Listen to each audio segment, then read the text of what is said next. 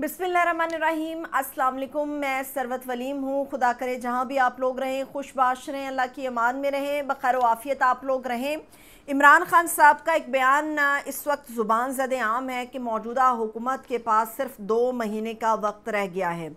हर जगह पर इस चीज़ को डिस्कस किया जा रहा है कि आखिर ऐसी क्या चीज़ है जिसकी बिना पर जेल में बैठे एक शख्स ने मौजूदा हुकूमत को ये कह दिया कि तुम्हारे पास सिर्फ़ दो महीने, यानी कि साठ दिन सिर्फ़ इस हुकूमत के पास बाकी रह गए हैं। समझदार और आप कह सकते हैं कि हालात की नज़ाकत को समझने वाला वही शख्स होता है जो चीज़ों को देख के अपने आइंदा आने वाले मुस्तबिल की पेश गोई करता है। मैं आप लोगों के सामने ये रखूँगी कि किन बुनियादों की वजह से इमरान खान साहब ने ये बात कही है कि मौजूदा हुकूमत के पास सिर्फ़ साठ दिन बाकी हैं। वो कहते हैं कि अकल वालों के लिए निशानियाँ, अल्लाह खुद फरमाता है अकल वालों के लिए निशानियाँ हैं। और हमारे सामने एक, दो नहीं, तीन तीन ऐसी चीज़ें हैं जिनसे इबरत पकड़ने की हमें ज़रूरत है। मगर क्या हम अकल हासिल करने के लिए तैयार हैं? हुकूमत तैयार है या नहीं है? अब मैं आपको बताती हूँ कि हुकूमत के गले की एक ऐसी हड्डी, जो उनके लिए बड़ी मुश्किल का सबब बनने वाली है, और इस्लामाबाद में आज जो उल्मा मशाइख, एक कॉन्फ्रेंस थी, उसमें हमें नज़र भी आया कि हुकूमत कितनी परेशान है इस एक गले की हड्डी की वजह से। और वो मसला है आवाम का वो मसला है, सनतकारों का वो मसला है, हमारा सबका। और ये महँगी बिजली का मसला है। घरों के अंदर बिजली आ नहीं रही और बिल जो हैं वो तीन तीन गुना आ रहे हैं। और एहसान भी गवर्नमेंट हमारे सरों पर ये कर रही है कि हमने आपको रिलीफ दे दिया 200 यूनिट वाले को हमने रिलीफ दे दिया, किसी को तीन महीने की बात है, किसी को दस दिन की तोसी बिल की जमा कराने की तारीख में दी है। मैं आपके सामने कुछ अहम तफसीलात रखने जा रही हूँ। मगर याद रहे कि बहुत माइनर माइनर बहुत छोटी छोटी सी चीज़ें एक ऐसा तूफ़ान खड़ा करती हैं कि जो इंसान सोच नहीं सकता। हुकूमत को लग रहा है कि शायद ये बिजली का मसला, रोटी का मसला, पानी का मसला या गैस का मसला, ये इतने माइनर इश्यूज़ हैं हुकूमत वालों के लिए कि उन्हें लग रहा है कि कुछ इस इस इस तरह का नहीं होने जा रहा। लेकिन जेल में बैठे इमरान खान ने हालात की नज़ाकत को समझ लिया है। इसी वजह से आज इमरान खान ने कहा है कि सिर्फ़ साठ दिन हैं इस मौजूदा हुकूमत के पास। और याद रहे कि मैं इसलिए भी इस चीज़ पे ज़ोर दे रही हूँ कि कल सहाफ़ियों ने ख़ुद जब बात करने की कोशिश की थी तो इमरान खान साहब ने उनको कहा था कि नहीं, आज मैं अपनी मर्ज़ी से बात करूँगा और आप लोग सवाल कर सकते हैं उसके ऊपर। और आज इमरान खान ने साठ दिन क्यों कहे हैं? आज वज़ी अजम शहबाज शरीफ साहब ने कहा है कि जी, दिन रात वो मीटिंग्स कर रहे हैं और ये मीटिंग पार सेक्टर के साथ हो रही है, जो हमारा एनर्जी का सेक्टर है। और फेडरल बोर्ड ऑफ़ रेवेन्यू से ये हो रही हैं। अब मसला ये है कि पाकिस्तान के अंदर अवाम उठकड़ी हुई है। उस शूर के नाते जो इमरान खान ने दिया है, अवाम कहती है कि मेरे घर में बिजली नहीं आती तो बिल क्यों आता है? मेरे घर में बिजली कम इस्तेमाल होती है तो बिल इतना ज़्यादा क्यों आता है? अगर कैपेसिटी पेमेंट देनी है तो ये एग्रीमेंट जो है, ये तो गवर्नमेंट की सतह पर हुए, अवाम की सतह पर तो नहीं हुए। गवर्नमेंट अपने माहदे जो उन्होंने माहदे किए उसका बोझ अवाम पर क्यों डाल रही है? अवाम तो खड़ी हुई है, सनतकार भी खड़े हैं। और इस वक्त सुप्रीम कोर्ट ऑफ़ पाकिस्तान के अंदर एक दरख्वास्त भी दायर की गई है। उसका मतन भी शेयर करूँगी, हुकूमत की वारदात भी शेयर करूँगी। पहले मैं आप लोगों को बताती हूँ कि अभी जो हमारे वज़ीर तोानाई हैं, वज़ीर तोानाई ने यह कहा है कि जी, हम आई पी पीज़ के साथ किए गए माहों को ख़त्म करने जा रहे हैं और ये वो आई पी पीज़ हैं जो नब्बे की दिहाई में आए। और इनके अंदर जो बताया जा रहा है वो ये है कि पंद्रह ऐसी आईपीपीज कंपनी आईपीपीज यानी कि बिजली की जो तकसीम कार कंपनियाँ जो आगे डिस्कोस को बिजली देती हैं और आगे आवाम को भेजी जाती है, यहाँ पर बिजली तैयार होती है। वो ये कह रहे हैं कि पंद्रह आईपीपीज ऐसी हैं या पंद्रह ऐसे बिजली की कंपनियाँ हैं जिनके साथ हम माहों पर नजरसानी का एक फ्रेमवर्क हम तैयार कर चुके ऐलान उन्होंने किया है कि छः आई पी कंपनियाँ जो हैं, उनको फौरी तौर पर उनके साथ माहिदा हम ख़त्म करने जा रहे हैं। फिर ये कहा जा रहा है कि इनमें से नौ कंपनियाँ ऐसी हैं जिनके साथ हम एग्रीमेंट्स अपने मरहलावार ख़त्म करेंगे। टोटल पंद्रह कंपनियाँ हो गई। अब मैं आपको कंपनियों के नाम बताऊँगी और हुकूमत की वारदात बताऊँगी। कंपनियाँ जो इसके अंदर शामिल हैं जिनको हुकूमत कह रही है कि हम फौरी तौर पे उनका माहिदा ख़त्म करने जा रहे हैं। इसके अंदर नाम आप ज़रा सुनते जाएँ। गुल अहमद एनर्जी का नाम है, कोहनूर एनर्जी का नाम है। लिबर्टी पार प्रोजेक्ट इसके अंदर शामिल है। टिपाल एनर्जी लिमिटेड इसमें शामिल है। अटक जनरेशन शामिल है और कैपको शामिल है। ये मैंने छः नाम आपको बताए हैं। अब बात ये है कि ये वो चीज़ें हैं या वो कंपनियाँ हैं जो ख़त्म होने जा रही हैं फौरी तौर पे। इनके साथ एग्रीमेंट ख़त्म होने जा रहे हैं। लेकिन मैं आपको ये बता दूँ कि इनके साथ एग्रीमेंट कैसे ख़त्म होंगे। हालाँकि इन कंपनियों के एग्रीमेंट ख़त्म होने के बाद इनको एक्सटेंशन दी गई है। और किसी में कैपेसिटी है या फिर कैपेसिटी नहीं है, उसको पेमेंट दी गई है। कोई बिजली बनाएगा या नहीं बनाएगा, माहिदों को दोबारा से एक्सटेंड कर दिया गया। सिर्फ़ दो कंपनियाँ आपके सामने इन छः में से रखूँगी, जिससे आपको अंदाज़ा होगा कि हुकूमत वारदात क्या करने जा रही है। मेरे पास इन छः कंपनियों में से गुल अहमद एनर्जी की मालूम हैं टिपाल एनर्जी लिमिटेड की मालूम है। ये वो दो कंपनियाँ हैं जिनको साल दो हज़ार उनतीस तक तोसी दे दी गई है इनके माहदे में।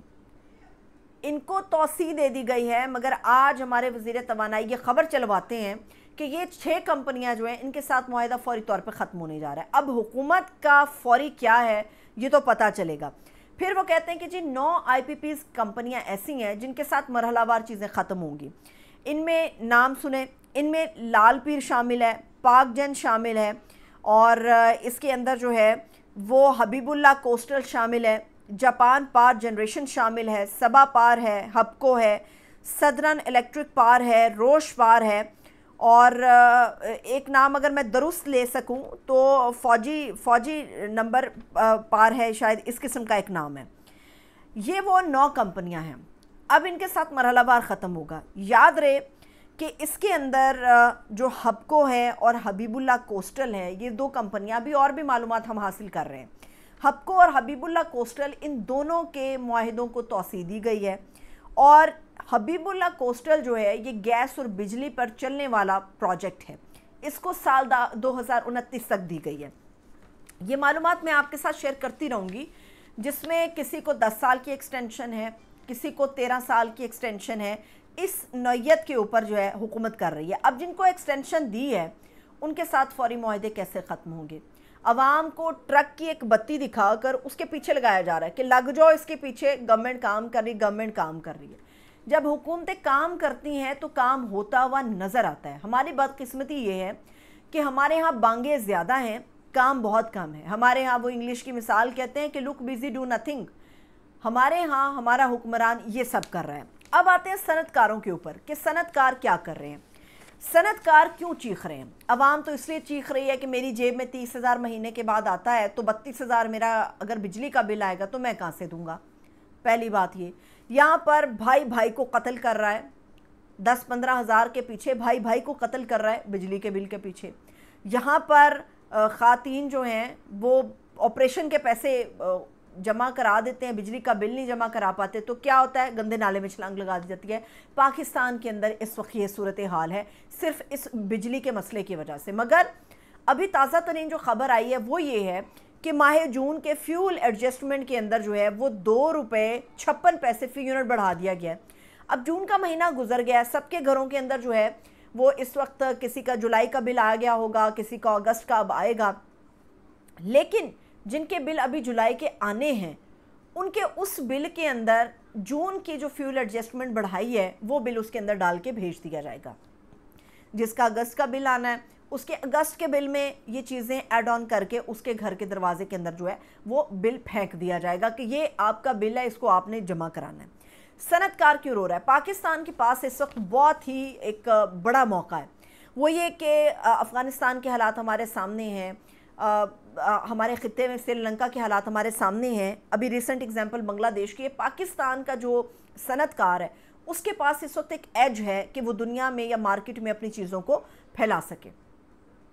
गौहर एजाज साहब समेत जो दीगर सनतकार सुप्रीम कोर्ट गए हैं, उनका मसला ये है, वो ये कह रहे हैं कि हमारे मुल्क में प्रोडक्शन बहुत कम हो रही है। उसकी वजह यह है कि हमें बिजली बहुत महँगी मिल रही है। गौहर एजाज साहब कहते हैं कि इस वक्त हमारी दरामदाद बहुत ज़्यादा है, जिसकी वजह से हमारा डॉलर यहाँ टिकता नहीं है। और बरामदाद हमारी ना होने के बराबर है, जिसकी वजह से डॉलर हमारे पास बचता नहीं है। अब हुकूमत ने सनतकारों के लिए भी बिजली महँगी की है। वो ये कहते हैं कि साल 2020 के अंदर एक फॉरेंसिक ऑडिट की रिपोर्ट आई। उस रिपोर्ट के अंदर जो है, वो कुछ तजावीज़ दी गई। अगर उनके ऊपर अमल कर दिया जाए तो ये मसला आई पी पी का ख़त्म हो जाए। मगर हुकूमत ये चाहती है कि 40 कंपनियों से है, डर के बैठे रहो। वो लताड़ के रखते हैं इनको। आप डर के बैठे रहो और 24 करोड़ आवाम को जो है ना वो नक्के पे लगा के रखो। 24 करोड़ अवाम अहम नहीं है इस हुकूमत के लिए। इनके लिए वो 40 ख़ानदान इंपॉर्टेंट है। अब हुकूमत ने वारदात यहाँ पर यह की कि मोहम्मद अली साहब ने साल 2020 के अंदर एक रिपोर्ट मुरतब की थी आईपीपी से रिलेटेड और उसमें उन्होंने कहा था कि ये ये चीज़ें हैं, इनके ऊपर अमल किया जाए तो सूरत हाल बेहतर हो सकती है। अब हुकूमत ने वारदात क्या की? क्योंकि बार बार कोर्ट हो रहा था, मोहम्मद अली रिपोर्ट, मोहम्मद अली रिपोर्ट। हुकूमत ने मसले का हल निकालने की बजाय, फॉरेंसिक ऑडिट कराने की बजाय मोहम्मद अली साहब को उठाया और एक टास्क फोर्स तश्कील दे के उसके साथ नत्थी कर दिया। मोहम्मद अली साहब को किसी भी टास्क फोर्स या किसी भी हुकूमती सतह पर नत्थी करने की ज़रूरत नहीं है। उनकी जो एक रिपोर्ट है, उसके ऊपर अमल करा दिया जाए। अब हुकूमत कहती है कि जी फॉरेंसिक ऑडिट कैसे होगा, क्यों नहीं होगा? ऑडिट कराने में क्या मुश्किल है? क्योंकि अपने गिरेबान तक हाथ आएगा बहुत सारे लोगों के। फॉरेंसिक ऑडिट के ऊपर हुकूमत ये प्ली ले रही है कि देखिए ना करोड़ों का खर्चा है। एप्टमा के patron in chief Gohar Ejaz जो बड़े मशहूर सनतकार हैं, वो ये कह रहे हैं कि ढाई करोड़, तीन करोड़, चार करोड़, पाँच करोड़ जितना पैसा लगता है मैं ज़ाती अपनी जेब से लगाने के लिए तैयार हूँ, आप फॉरेंसिक ऑडिट कराएँ। अब हुकूमत पतली गली से फिर निकल गई है कि नहीं जी, हम फॉरेंसिक ऑडिट नहीं कराएँगे। तो अभी सुप्रीम कोर्ट के पास सनतकार पहुँच गए हैं। अब आते हैं वापस उस स्टेज पे जो इमरान खान कह रहे हैं कि साठ दिन है। एक लीडर है, जेल में बैठा है और फिजाओं से उसने अंदाज़ा लगा लिया है कि सूरत हाल क्या बन सकती है। पाकिस्तान में इस वक्त ये बहस है कि क्या पाकिस्तान में बांग्लादेश जैसी सूरत हाल पैदा हो सकती है? बहुत ही कुछ आ, कुछ अंदर के लोग हैं जो ये बात कर रहे हैं कि आज एक कॉन्फ्रेंस भी हुई है और उस कॉन्फ्रेंस से पहले कुछ बातचीत हुई है। और ये बातचीत हमारी आर्मी और गालिबा आर्मी चीफ और वज़ी अजम और दीगर कुछ लोगों के दरमियान हुई है। जिसमें इस बात पर सोच विचार की गई है कि अगर खुदा न खास्ता पाकिस्तान में ऐसे हालात होते हैं तो क्या लाहे अमल अपनाया जाएगा? पाकिस्तान के अंदर बांग्लादेश की सूरत हाल का ख़तरा बढ़ता जा रहा है। उसकी वजह यह है कि बांग्लादेश में जो माइनर सी चीज़ें थी, जैसे कोटा सिस्टम हो गया, हमारे यहाँ एक आम हो गया, जबर हमारे यहाँ आम है सोशल मीडिया पे कदगने हैं, हमारे यहाँ भी जुल्म और फस्ताइत बड़ी आम हो गई है। इसके वजह से इनको इग्नोर किया गया स्टूडेंट्स उठे, नौजवान तबका उठा, उन्होंने हलचल मचा दी। पाकिस्तान के अंदर आज, अभी से कुछ देर पहले एक और बड़ी अनहोनी हुई। वो ये हुई कि आईएसएफ स्टूडेंट्स ने एक प्रेस कॉन्फ्रेंस की और आईएसएफ के स्टूडेंट्स जो थे, वो सड़कों पर भी निकले। जो इस बात की इंडिकेशन है कि पाकिस्तान के अंदर जिस हद तक नाइंसाफ़ी और फस्ताइत हो रही है, खुदा ना खास्ता, ये हालात हो सकते हैं। ये हालात पाकिस्तान में बन सकते हैं। सितंबर की डेडलाइन है। सितंबर के अंदर लॉन्ग मार्च भी होगा शॉर्ट मार्च भी होगा रैलियाँ भी निकलेंगी। जमात इस्लामी सड़क पर मौजूद है। अक्टूबर में चीफ घर चला जाएगा। दिसंबर की इंडिकेशन असद कैसर या पीटीआई दे रही है। री इलेक्शन या पीटीआई गवर्नमेंट की तो हालात बदल रहे हैं।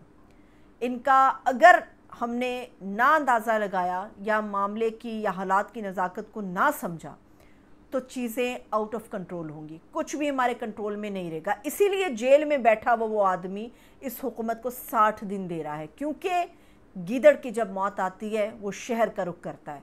और ऐसा लगता है कि बिजली का ये इशू हुकूमत के गले के लिए तोक साबित होगा। मुझे इजाज़त दीजिए, अपना ख्याल रखिए। खुदा